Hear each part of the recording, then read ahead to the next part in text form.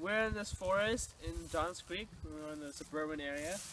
As you can see, our forest expands for miles on end. Uh, however, due to human deforestation, this once long forest is now shown onto this block.